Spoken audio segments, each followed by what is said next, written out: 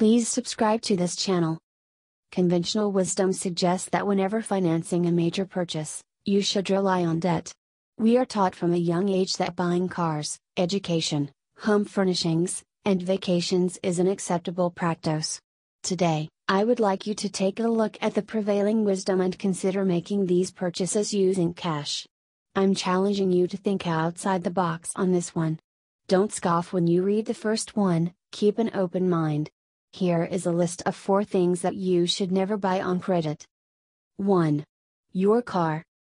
You've always been taught since your teen years that automobile purchases should be paid for by financing them. Millions of people finance cars through local dealerships, commercial banks, and credit unions. While these may all seem like good alternatives, the best option is to pay cash for your automobile. Paying cash saves you from paying interest on an asset that is going to depreciate. It also frees you up to earn a positive return on your money.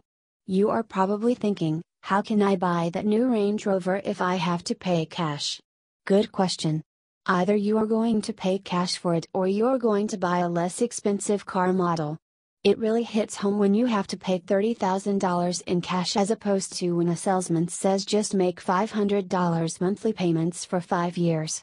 The only time when making monthly payments is appropriate is when you are paying 0% interest, and often these gimmicks last for only a period of time but the interest rates increase drastically.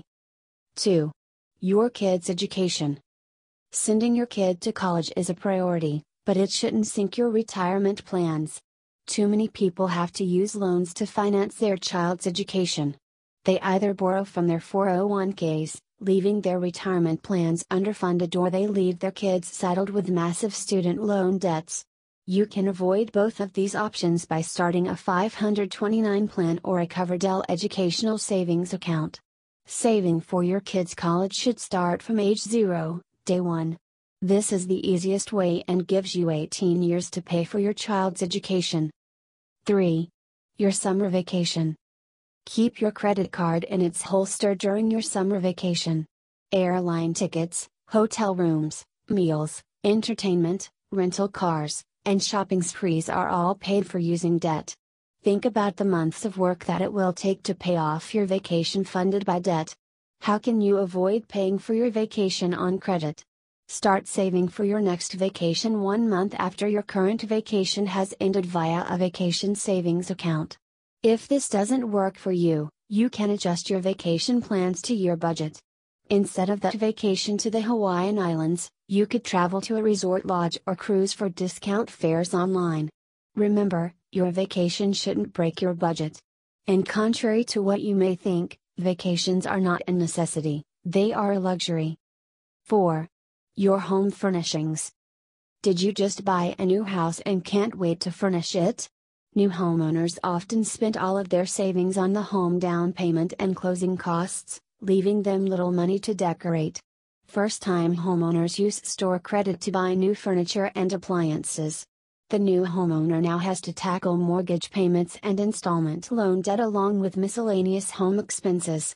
This is a recipe for disaster. Avoid going into debt with home furnishings by furnishing your home in stages. You could do the bedroom first and the living room the next month. This allows you to furnish your entire house with no debt.